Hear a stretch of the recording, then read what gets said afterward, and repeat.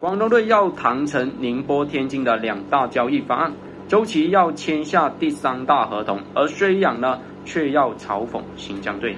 如今的辽宁队两大筹码更是被摆上货架，有望呢去挖到顶级的内线，得到更大补充。新的一个赛季呢，其实总体的实力都会得到飙升的。跟大家重点探讨一下三个方面。第一个方面。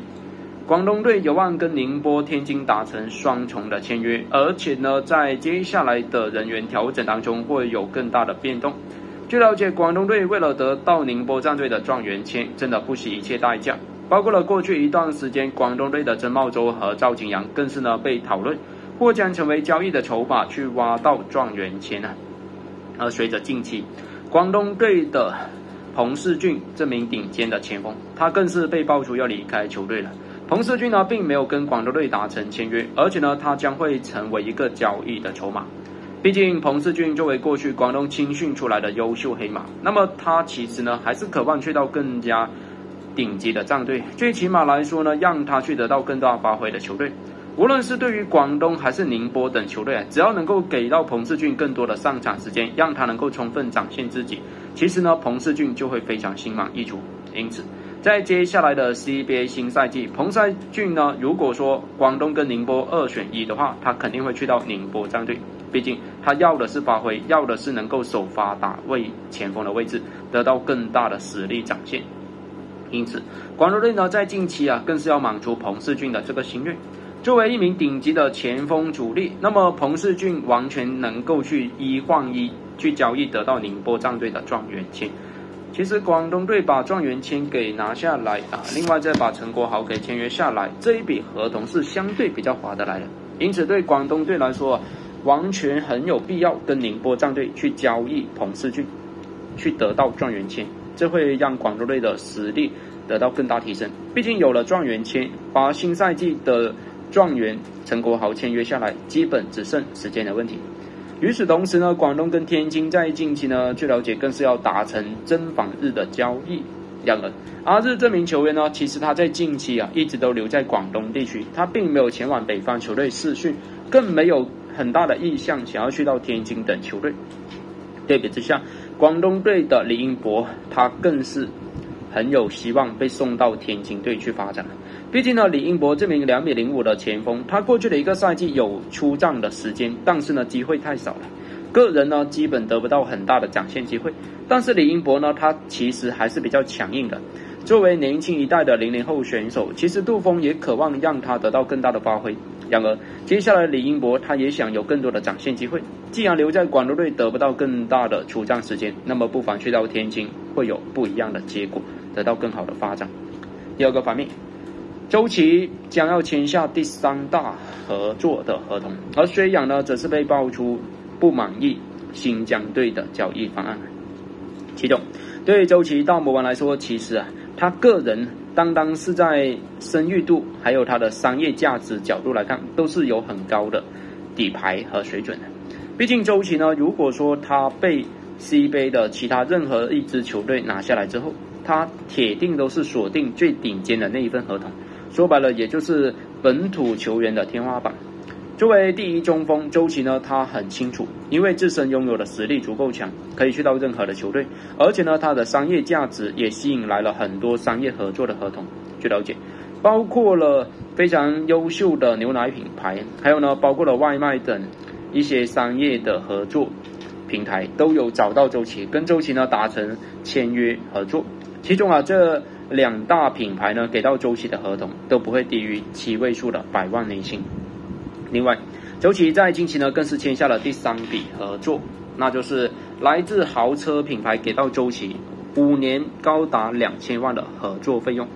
因此啊，周琦他基本上呢不用打任何的比赛，他只需要呢动动手指头，动动他的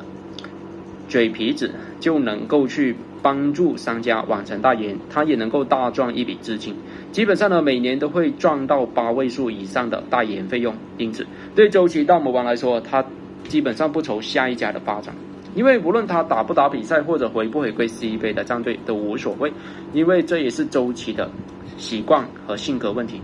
毕竟呢，周琦在过去呢一直以来都是比较随性的，他对比起易建联、姚明等选手呢非常不一样。同样都是男篮的大中锋，易建联跟姚明呢，一直都是以我们男篮的荣誉为重，为了男篮能够夺冠啊，真的拼上自己的职业生涯和青春。但是周琦则是非常不一样，周琦更加多的是顺其自然，有比赛了就努力去打，没有比赛呢打不打、参不参加、回不回归，更多是看自己的个人意愿说了算的。另一个方面呢，虽然经纪人呢，他更是不满意新疆队的合作合同，说白了，对新疆队最近的交易谈判，其实在资金筹码方面呢，没有达到虽养经纪人的标准，毕竟。新疆队通过周琦的交易，不仅能够拿回一个亿的培养费用，其实啊，虽然作为他的经纪人团队，在整个过程当中，认为也付出了很多时间精力，自然而然呢，就能够获得一笔超过五千万以上的资金报酬。因此，虽然经纪人团队呢更是狮子开大口啊，无论是周琦他本人的签字费超过了五千万，还是虽然这边的。佣金费用达到了五千万以上，其实呢，对双方来说呢，都是为了争取更大的利益。所以啊，在近期呢，无论是新疆队的交易方案也好，还是绥阳双方也好，如今呢，更是在利益的谈判方面存在着一些矛盾。不管周琦去到哪个球队，无论是上海还是北控，虽然跟周琦都会大赚一笔丰厚的资金，而新疆队这边也会拿回属于自己的培养费用。其实啊，对周琦的这个签字费以及呢交易的费用，那真的不是一般球队能够负担得起的。确实呢，也让大家议论纷纷。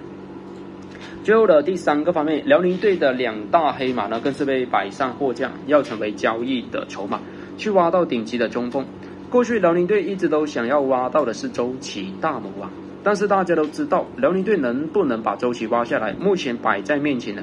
最大的困难就是新疆队的管理层不同意，因为呢，来自新疆队的管理层也并不会说去做一些亏本的交易。新疆队希望得到的是赵继伟，以及呢张镇麟，外加上了团队当中的郭艾伦等主力的，但是辽宁队不肯给。目前呢，辽宁队的这边呢，更加有意愿得到的是山东队的朱永正。无论是球队当中的杨守奇或者吴昌泽，都可以作为交易的筹码去挖到朱永正，得到中锋的补强。另一个方面呢，其实啊，对于辽宁队跟广州队的焦博乔也有一定的达成意向合作的可能。因此，接下来的杨守奇很有可能呢会用来交易得到广州队的焦博乔，而吴昌泽很有可能会单换山东队的朱永正，从而呢得到中锋更大的补强。这也是辽宁队渴望。达成的交易合作，因为辽宁队目前最期待得到的是中锋的补强，希望引进更加主力的优秀内线，得到新赛季的冠军争夺机会。也期待着接下来各大球队纷纷调整之后，无论是辽宁、广东以及呢新疆、上海等球队都有更大的提升，这样才能让 CBA 更精彩，更加百花齐放，展现出不一样的效果。大家是否认可？说说您的想法，也谢谢大家。